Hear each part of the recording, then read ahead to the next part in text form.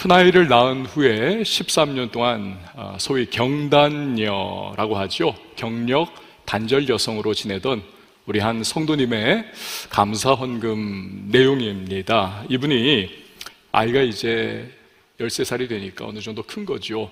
아, 내가 다시 사회생활로 복귀해야 되겠다. 직장 다시 가져야 되겠다. 하지만 아, 용기를 쉽게 내지는 못합니다. 아, 갭이 너무 길었던 것입니다. 그때 하나님께서 말씀을 주셨다고 해요. 창세기 28장 4절 말씀입니다. 아브라함에게 허락하신 복을 내게 주시되 내가 차지하게 하시기를 원하노라. 이삭이 집을 떠나는 야곱에게 축복을 빌어주며 했던 어, 예언적 말씀입니다. 이 말씀을 붙잡았어요. 직장 문을 두드렸습니다. 하나님이 드디어 일터를 허락해 주셨습니다. 감사하다는 겁니다. 사실 여기까지는 여러분 어, 그냥 평범한 어쩌면 그러한 감사의 내용이죠. 그러나 제 눈에 딱 들어온 것은 그 다음에 이분이 고백했던 그러한 내용입니다. 한번 들어보세요. 일하는 곳에서도 기도의 사명을 저에게 맡기고자 저를 그곳에 보내신 것을 알게 되었습니다. 이분에게 있어서 직장이라고 하는 곳은 단지 돈 버는 곳이 아니라는 거죠. 대신에 나는 축복의 통로로 이곳에 있는 거야. 이 소명의식, 이걸 가지게 된 것입니다. 직장 생활, 이것이 다른 분들의 직장 생활과 구별되는 그러한 삶의 현장이 된 것입니다. 여러분은 어떠십니까? 여러분의 일터의 현장, 삶의 자리, 열심히 땀 흘려 일하지만 혹시 그것이 내가 내 노동력을 제공하고 마땅히 내가 먹고 살아야 할 부분, 자녀 양육하고 또 미래 준비하는 그 돈이라고 하는 그 한 측면만 내가 이제 물물 교환하듯이 그렇게 거두어 드리는 장소는 혹시 아닌가요? 평생 직장 개념 이미 깨진 지 오래됐습니다. 널뛰기 할수 있어요. 그렇기 때문에 에이, 뭐 그냥 돈이나 버는 것이지 뭐 좋은 조건이나 내가 찾아가는 거지. 여러분 이런 마음이 직장에 대한 여러분의 생각인가요? 아니면 무언가 소명 의식이 그곳에서 싹 틔워지고 발휘가 되고 있습니까? 오늘 우리는 직업과 소명 의식에 대해서 살펴 보려고 합니다. 오늘도요, 제가 설교를 준비하는 데 있어서 우리 신앙 선배들의 많은 도움을 받았습니다. 첫 번째로 오스 기니스의 소명이라고 하는 책. 또한 제럴드 시처 목사님의 하나님의 뜻, 팀 켈러 목사님의 일과 영성, 또 종교개혁가들인 마틴 루터와 존 칼빈, 그 외에도 여러분들의 아티클이라든지 그러한 글들을 보면서 참 도움 많이 받았고, 아, 이 설교의 흐름을 이런 식으로 구성을 어, 해 나가야 되겠구나. 그런 인사이트를 얻을 수 있었습니다. 설교를 준비하면서 문득 궁금해진 부분이 있습니다. 요즘에 여러분 인공지능 AI, 챗 GPT가 굉장히 인기 아닙니까? 특별히 젊은 층들은 뭐 대학 그 리포트도 그거 가지고 막 쓰고 그래가지고 교수님들이 지금 이거 어떻게 걸러내야 하냐 하면서 굉장히 어, 막 신경을 많이 쓰고 있습니다. 나중에는 모르겠어요. 설교도 어떤 분들은 챗 GPT로 돌려가지고 만들어낼지 잘 모르겠지만 제가 궁금해졌습니다. 야, 요 주제도 챗 GPT, 이 인공지능이 어느 정도 건져낼 수가 있을까? 그래가지고 질문을 한번 던져봤어요. 이런 질문이었습니다. 기독교 세계관에 있어서 직업, job과 소명, vocation의 관계는 무엇인가? 기독교 세계관에 있어서 직업과 소명의 관계는 무엇인가? 아, 이걸 쳐넣었더니 인공지능이요. 아주 그냥 눈 깜짝할 사이에 답을 만들어가지고 저한테 여기 있습니다 하면서 제출을 하더라고요. 자, 여러분에게 그대로 한번 읽어 드리도록 하겠습니다. 기독교 세계관에 따르면 사람은 누구나 하나님이 주신 소명이 있다.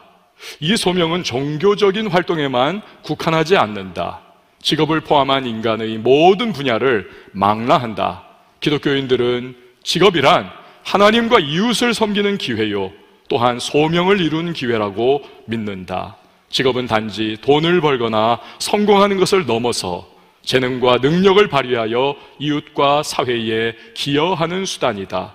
기독교인들은 직업과 소명을 일치시키고 직업을 통해 하나님의 사랑을 드러내도록 해야 한다.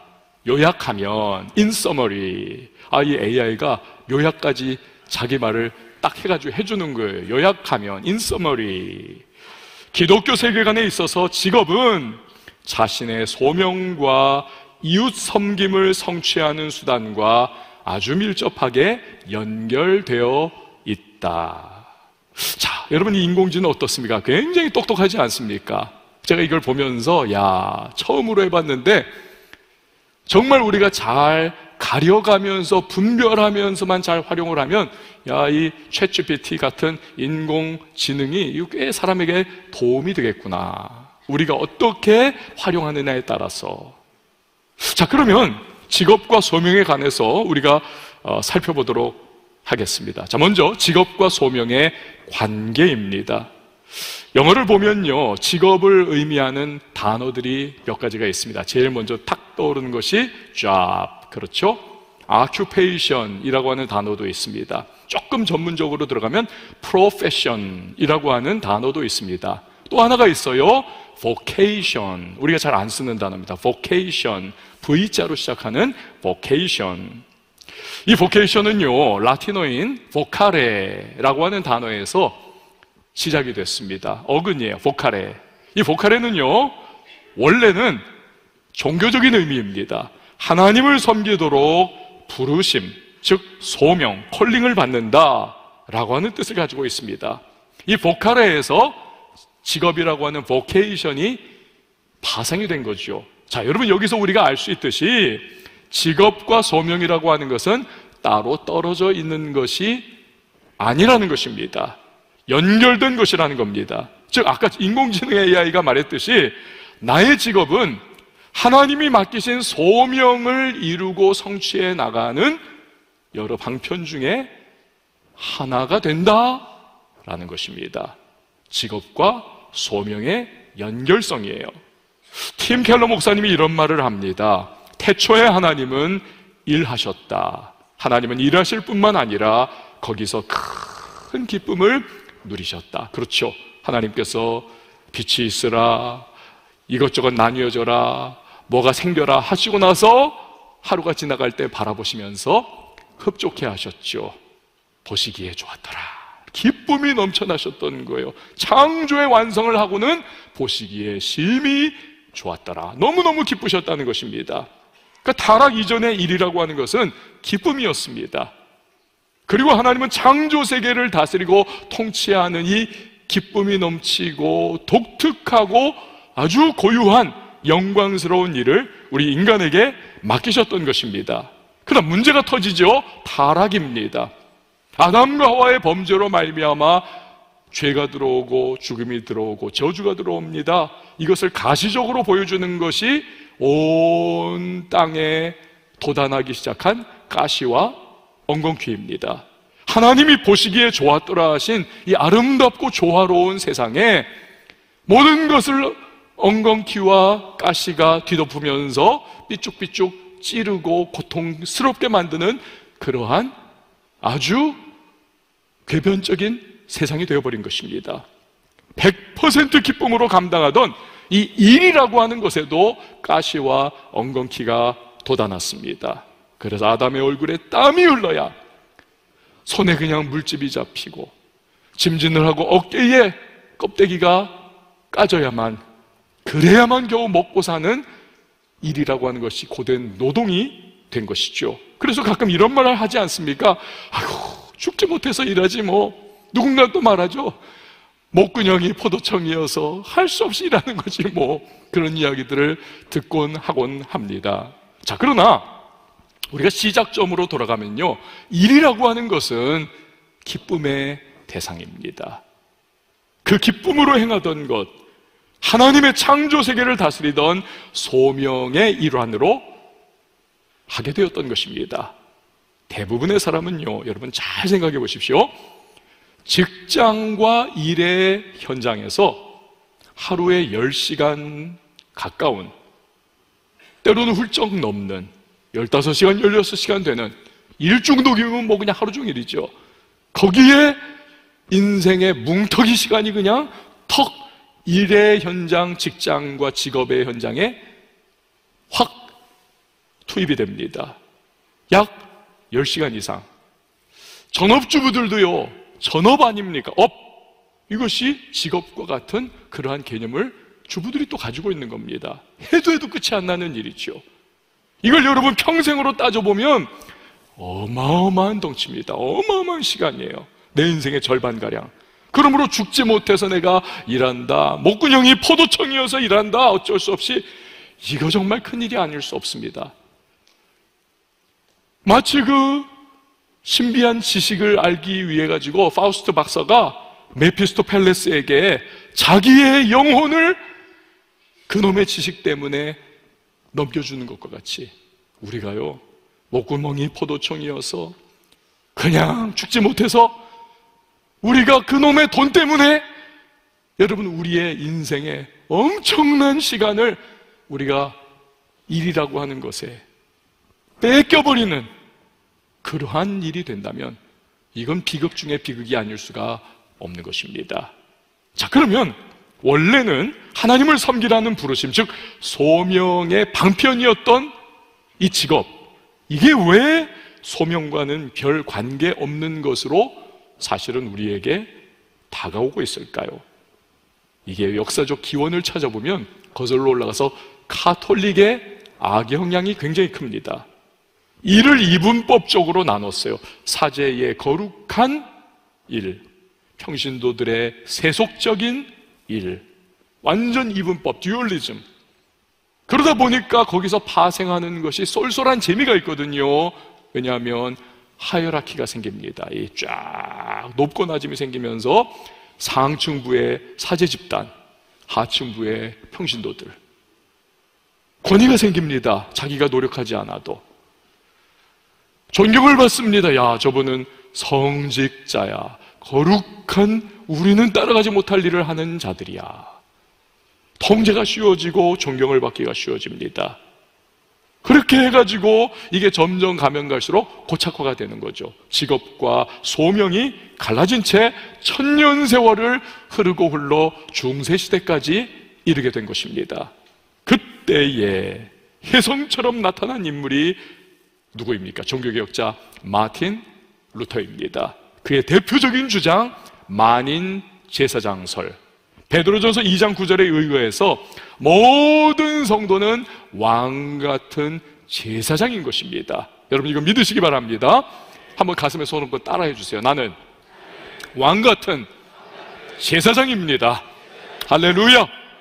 그러기 때문에 사제가 하나님과 죄인 사이에서 중보자의 역할을 감당해 줘야만 우리 죄가 사함받고 우리의 기도가 하나님 앞에 상달하는 거 결코 아니라는 것입니다. 여러분 우리는요 사제 없어도 신부님 없어도 심지어는 목사님도 없어도 우리가 예배할 수 있고 우리가 기도할 수 있고 우리의 죄악을 하나님 앞에 예수 그리스도 우리의 영원한 대제사장 되시는 그분의 이름 붙잡고 나아가 기도하고 예배하고 용서받고 우리는 다른 사람들도 주님께 인도할 수 있음을 믿으시기를 바랍니다.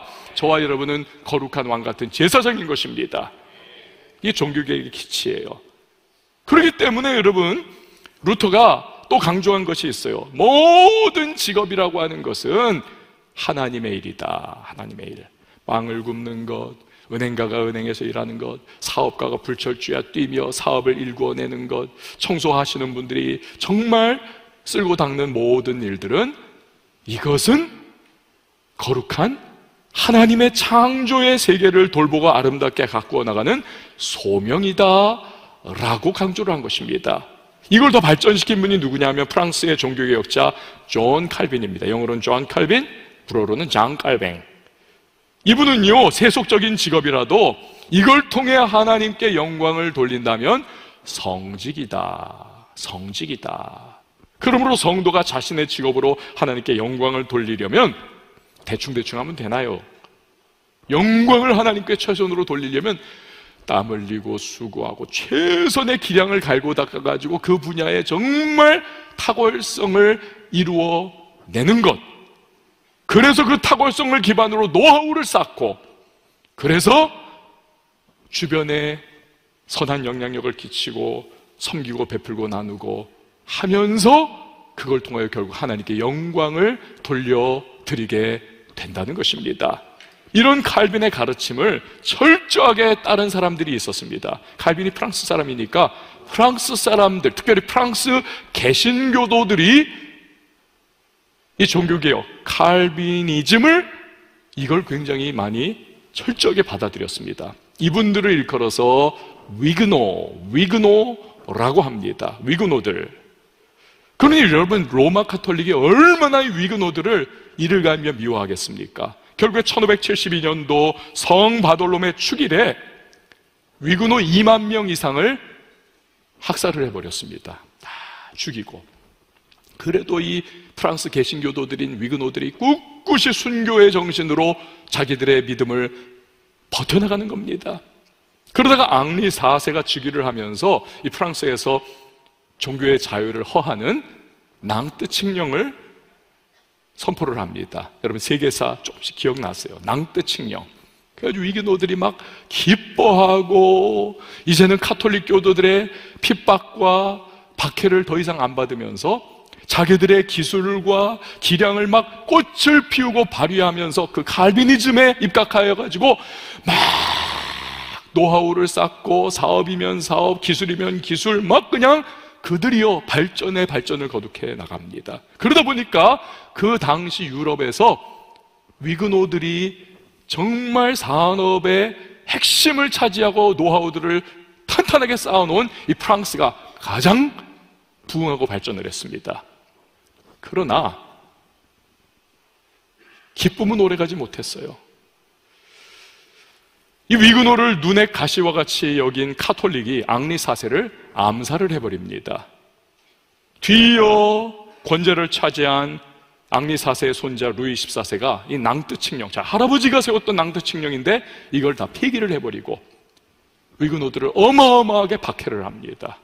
그래서 위그노들이 신앙 지키고 목숨을 건지기 위해 가지고 유럽 전역으로 다 흩어져 도망가 살아갑니다. 여러분, 그들이요, 프랑스를 떠나니까요, 한순간에, 한순간에 프랑스 산업이 확 주저앉아 버립니다. 확.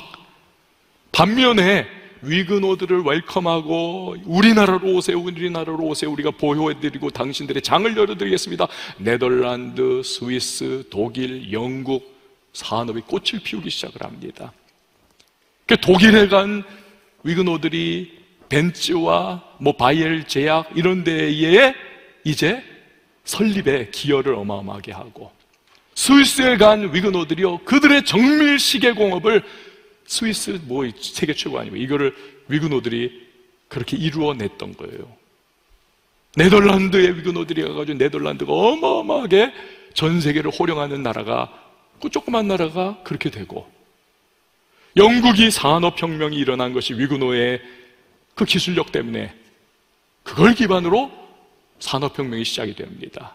나아가 100년 뒤에는 미 서부 개척의 원동력이 되었던 겁니다. 이처럼 서양의 근대화와 산업혁명과 부와 아주 그냥 강국이 되는 것들은요, 그 근저에는 다 이 위그너들, 칼빈주의의 직업과 소명을 우리는 하나로 여기고 내가 있는 자리에서 최선을 다해서 내가 열심을 다하고 노하우를 쌓고 최선으로 꽃을 피운다. 그러한 이 위그노들이 거기다 깔려 있었던 것입니다. 그 독일의 정치가요 경제학자인 막스 베버가 그 사실을 깨닫고 쓴 책이 바로 유명한 프로테스탄트 윤리와 자본주의 정신입니다. 사족으로 여러분 사족인데 자본주의의 근저에는 이 개신교의 신앙과 정신이 쫙 깔려 있기 때문에요. 그래서 공산주의가 어떻게든 이 개신교, 이 기독교를요, 박멸하고 깨뜨리고 교회를 탄압하기 위해 가지고 그 자본주의를 깨려면 그 정신을 없애버려야 되니까 그 교회를 탄압하고 뿌리 뽑지 못해 안달을 하는 것입니다. 자, 그런데 자본주의가 꽃을 피우고 번성하면서 여기 이제 문제가 생깁니다. 뭐냐면 타락한 인상의, 인 간의 본성이 문제였습니다. 좋게 시작했어요. 종교개혁자들의 그 신앙을 전수받아서 직업 속에서 자기의 소명을 꽃피워 나가던 그러한 자본주의였는데 이게요 인간의 죄악과 탐욕이 들어가니까 나중에는 소명의식은 사라져버리고 돈, 돈, 돈, 돈. 완전히 돈으로 돌아버리는 그러한 상황이 되어버리고 만 겁니다. 이게 여러분 오늘날 우리의 삶에도 그대로 나타나지 않습니까? 직업이 뭐예요? 그냥, 그냥 먹고 사는 일에 대한 방편입니다. 수단이 되어버린 겁니다. 심지어 크리스천들도 직업을 통해서 하나님이 내게 부여하신 소명을 이루고 꽃피운다라고 하는 의식은 행겨쳐버리고 알지도 못하고 그냥 직장에서 일하고 돈 벌고 다람쥐 쳇바퀴 돌듯이 살아가는 지친다 지쳐 하면서 그냥 그렇게 살아가는 것에 안주해 버리는 것. 그렇게 되더라는 것입니다. 여러분 직업에서 소명 의식이 사라져 버리면요. 얼마나 추해지는지 아십니까? 생명을 살리고 환자를 돌봐야 할 의사인데요. 소명 의식이 사라져 버리면요. 응급실에 막 환자가 들어오면 아이고 저거 저거 돈이 있나 없나? 저거 얼마짜린가? 이렇게 머리가 돌아가게 되어 있습니다. 이렇게 팩트를 생명처럼 여겨야 할 기자인데 아니 사실을 생명으로 여겨야 할 기자가 자기 유불리와 정치적인 득실 관계 따져가지고는 가짜 뉴스를 막 퍼뜨리는 겁니다. 침몰하는 배 학생들이 막 아우성 치면서 갇혀 있는데 소명의식이 없으니까 나 혼자 살겠다고 팬티바람으로 도망쳐버리는 그런 선장도 있지 않았습니까? 나라에서 김치 명장이라고 하는 명예를 붙여줬는데 아, 그러면 가족 먹이는 심정으로 더 깨끗하고 위생적이고 더 맛있는 김치를 만들어야 할 텐데 어떻게 했습니까?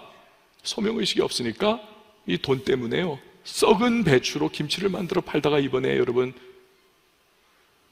다 걸려 들어가지 않았습니까?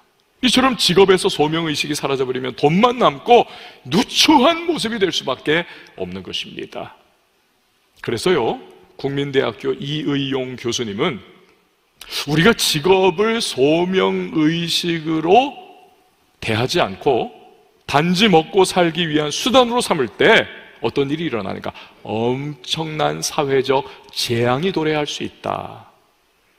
아까 말씀드린 팬티 입고 도망갔던 그 선장 때문에 생떼 같은 아이들 수장당하고 사회적으로 여러분 그 엄청난 고통과 갈등이 지금까지도 계속되지 않습니까? 사회적 재앙이 되는 거예요. 이 이의용 교수님이 또 말합니다. 잘 들어보세요. 교회는 그리스도인들에게 소명을 제대로 가르쳐야 한다. 교회가 훌륭한 직업인이 곧 훌륭한 그리스도인이라는 것을 명확히 가르칠 때 세계 곳곳에서 그리스도인들을 통해 하나님의 나라가 도래할 것이다. 할렐루야. 여러분 얼마나 맞는 말씀 아닙니까? 교회와 세상에서의 삶이 너무 다른 이 듀얼리즘, 이분법적인 삶은 이거 노노 안 된다는 것입니다. 우리 교회가 앞으로 이제 장로님들을 또 선발을 할 텐데 그래서요. 제 마음에 생각이 있습니다. 교회 안에서의 생활만으로는 이거 몰라요. 얼마든지요, 목사에게 가까워지고, 그래서요, 얼마든지 금연만 보일 수 있습니다. 그 이번에 이제 앞으로 장로님들 선발할 때는 제가 가정에서의 삶은 어떤가? 직장에서의 삶은 어떠는가? 인간관계, 그리고 사회적인 생활의 모습은 어떤가? 이걸 다 볼 거예요. 얼마나 성공했냐, 돈 많이 버냐, 학벌 좋으냐, 능력 좋으냐를 본다는 거 아닙니다. 얼마나 크리스찬으로서 거룩한 영향력을 끼치고 주님의 뜻을 드러내는 삶을 사는가. 이걸 보겠다는 거예요. 디모데서도 그렇고 사도행전도 그렇고 다 교회 지도자들 뽑을 때 그거 보지 않습니까? 불신자들에게도 칭송을 받더라. 과연 어떻게 구체적으로 그렇게 할 것인가 기대하시라 개봉 박도.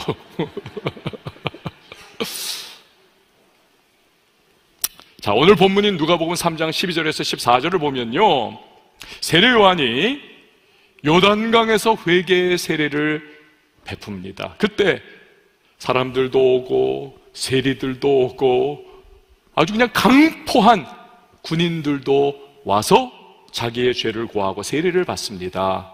그런데 이때 세리들과 군인들이 요한에게 하는 말이 있어요.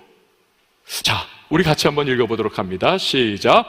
세리들도 세례를 받고자 하여 와서 이르되 선생이여 우리는 무엇을 하리까 하매 이르되 부과된 것 외에는 거두지 말라 하고 군인들도 물어 이르되 우리는 무엇을 하리까 하매 이르되 사람에게서 강탈하지 말며 거짓으로 고발하지 말고 받는 급료를 족한 줄로 알라 하니라.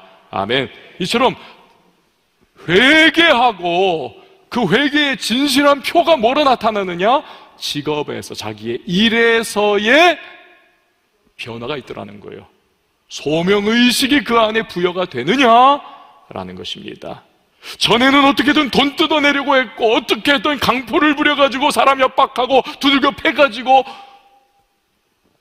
나 잘 먹고 잘 살려고 했는데, 이제는 그것이 아니라 그 일과 그 직업을 통하여 소명의식을 드러내고 선한 영향력을 끼치고 하나님의 영광을 드리는 그러한 변화가 시작이 되더라는 것입니다. 할렐루야. 여러분, 저와 여러분에게도 이러한 변화가 일어날 수 있기를 축복합니다. 소명은 목회자의 전유물이 아닙니다. 영국이 나온 위대한 정치가 중에 한 분이요. 진짜 손꼽는 분 중에 한 분이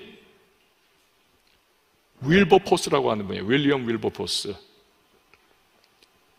노예제도의 여러분 종주국이 영국입니다. 근데 이분이 영국에서 노예제도를 폐지를 했어요. 평생 이분이 그것을 소명으로 여겼습니다. 자기 정치를 통해서. 미국의 링컨 대통령이 이 윌버포스의 영향을 지대하게 받았습니다. 나중에 노예 해방을 하지 않습니까? 전쟁까지 하면서. 근데 한때는요, 이 윌리엄 윌버포스가 내가 소명을 가지고 있는 사람인데, 그렇다면 나 목회자 되는, 되는 거 아닌가? 나 신학교 들어가야 되는 거 아닌가? 정치 집어치우고. 아주 심각한 고민에 빠졌다고 합니다. 그때 어떤 목사님이 이 윌버포스에게 찾아가서 미스터 윌버포스, 당신은 절대로 목회자 되지 마세요. 당신은 정치의 자리에서 최선을 다하는 것이 당신의 소명을 이루는 방법입니다. 그 윌버포스가 거기에 설득당하고 깨달아가지고, 그렇지, 나의 소명은 정치 현장에서야. 그래가지고는 이분이요, 하나님의 영광을 위하여 주변의 덕을 위하여 노예제도에 헌신하고 그걸 폐기를, 폐기를 해버렸던 거예요. 여러분, 한 사람의 정치인이 소명의식을 가지고 이 일을 감당하니까 100명의 목회자, 1000명의 목회자, 만명의 목회자도 감당하지 못하는 이 하나님의 형상을 따라 창조된 인간을 노예 삼아 개돼지처럼 부리던 이 악한 법이 폐기가 되고 그 땅 가운데 하나님의 공의와 질서가 다시 회복이 되더라는 것입니다. 할렐루야.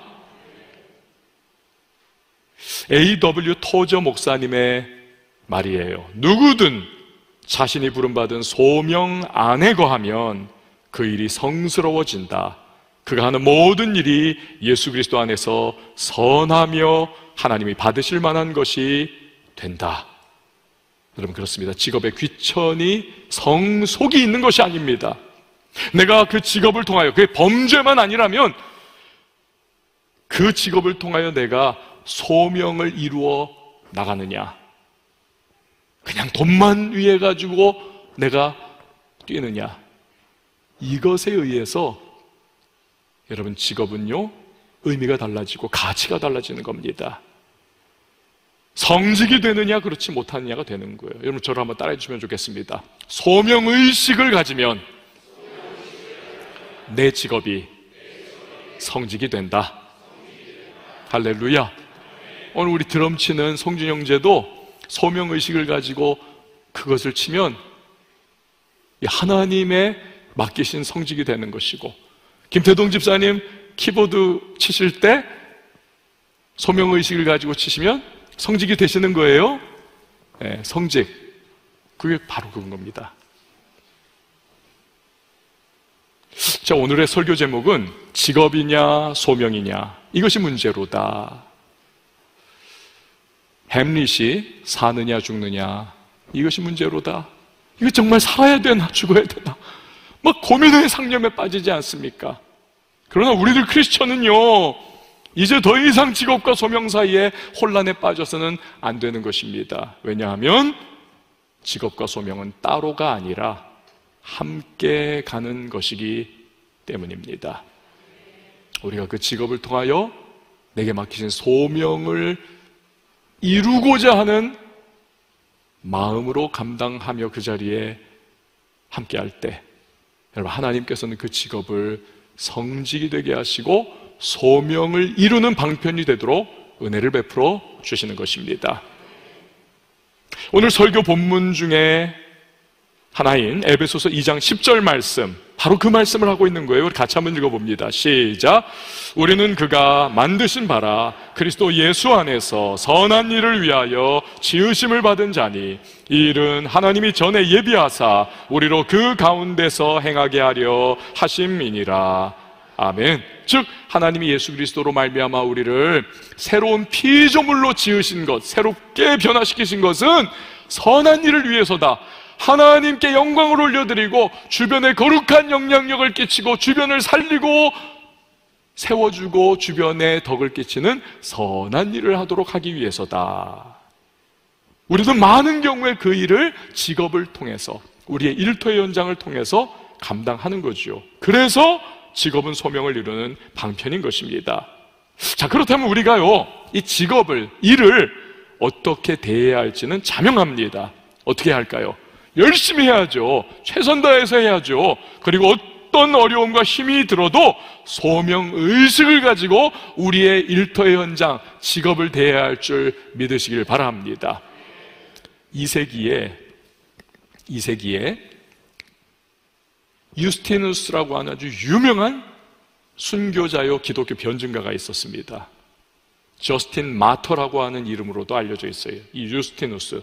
이분이 놀라운 그러한 기록을 하나 남겼습니다.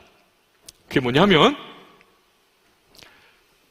이분은 갈릴리 고 언덕에 살고 있던 사람인데 2세기에 그 2세기에 갈릴리 인근에 살던 사람들 집에 쟁기라든지 멍해라든지 이런 농기구가 또 가구라든지 뭐 의자라든지 이런 것들이 요셉과 예수님께서 목수 생활하실 때에 만들었던 것들이 1세기에 만든 거죠.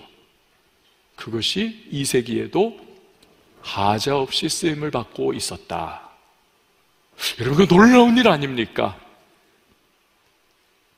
100년 가까운 세월이 흘렀는데도 요셉과 예수님이 만드신 목수 생활하며 뚝딱뚝딱 만들어내신 그 농기구와 가구들이 튼튼하게 얼마나 튼튼하게 만들었으면 그것이 여지껏 쓰임 받고 있더라.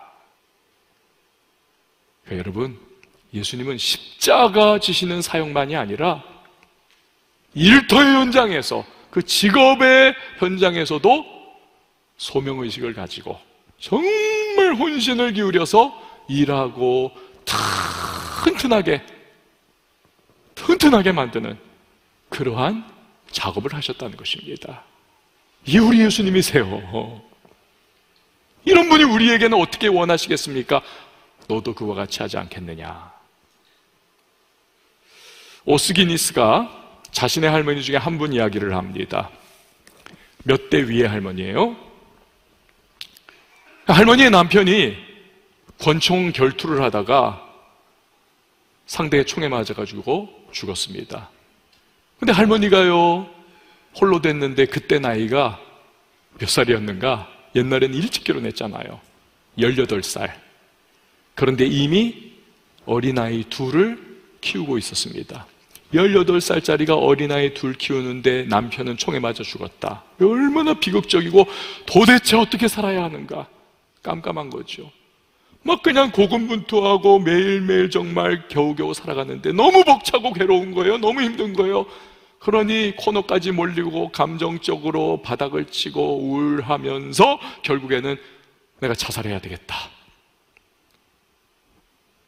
강에 뛰어들려고 강가에 갔습니다.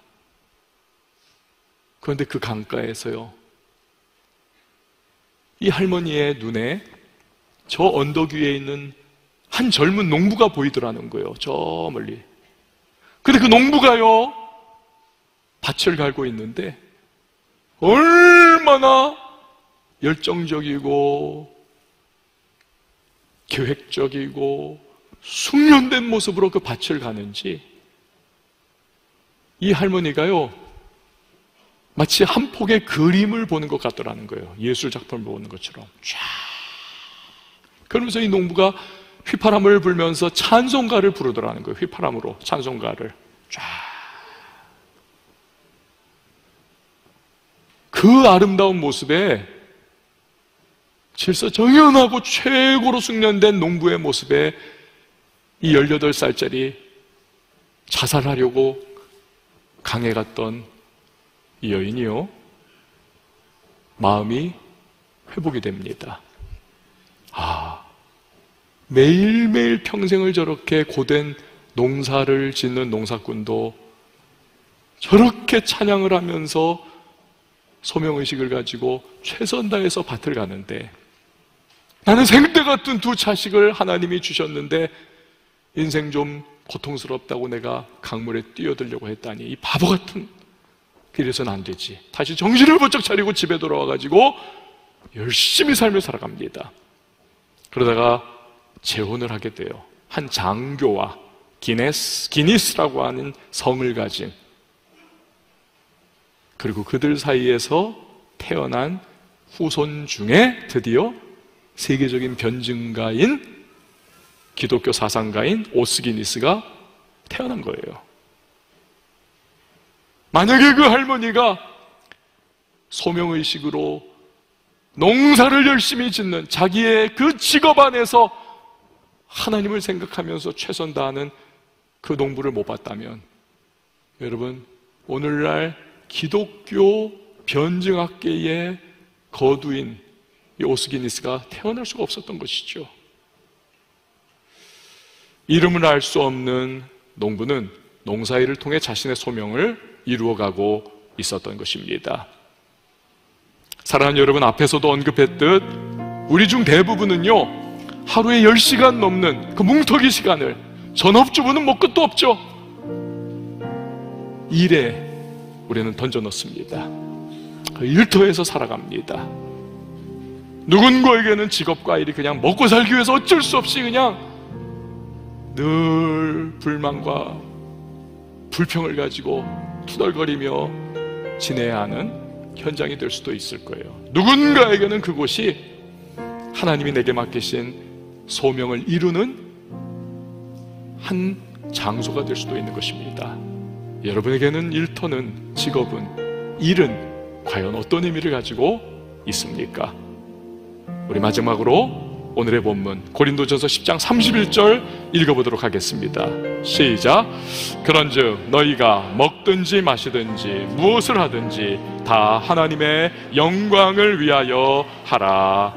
아멘. 오늘 우리 함께 찬양할 때에 우리 찬송가 힘차게 부르십시다. 박수 치면서 우리 주님이 허락하신 나의 일터 이 땅에서 하나님 나 최선 다하여 나가겠습니다. 성령 도와주세요. 이 마음으로 우리 찬양합니다.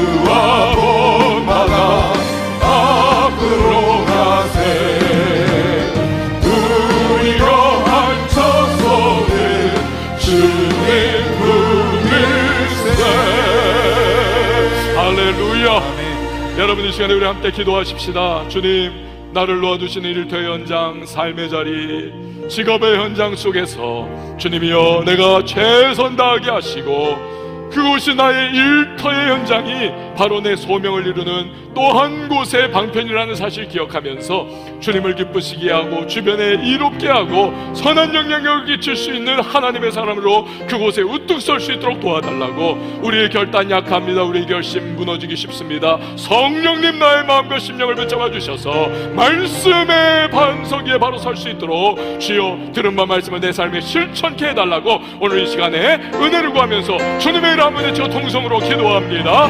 주 여. 하나님 아버지